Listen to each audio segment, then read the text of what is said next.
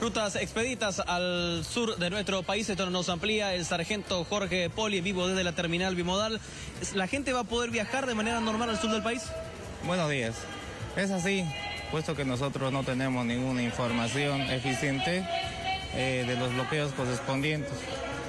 Eh, la información que hemos recibido de la policía caminera es que todas las rutas están expeditas. ¿Qué pasa con eh, Villamontes, Yacuiba, los posibles eh, donde se podían reactivar los bloqueos en las últimas horas?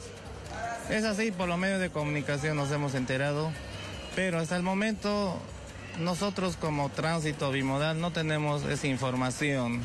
¿Las flotas están llegando de manera normal a Tarija, a Villamontes, Yacuiba?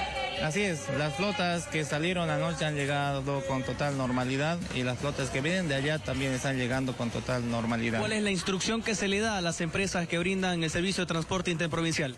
Por el momento no hay ninguna instrucción.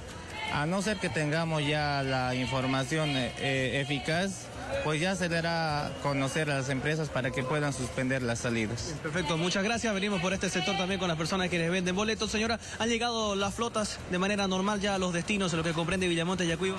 Todo con normalidad, tanto aquí y tanto a Tarija ya llegaron. ¿Cuántos buses salieron ayer? Uno yo largué, la mayoría saca de a uno. De... ¿Se llegó en horario? En horario. ¿Para no. ahora cuántos buses más o menos van a salir? Uno nomás. ¿Este tema de los bloqueos y toda esta situación ha afectado el tema del precio y el costo de los pasajes? ¿Se ha elevado?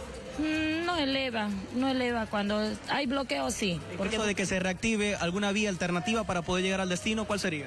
Tenemos varias vías alternativas, digamos, por ir por Sucre, por ejemplo, es un poquito más largo, más costoso, pero se llega. Muchas gracias. Con esta información desde la terminal bimodal retornamos a estudios. Bien, José, hasta un próximo.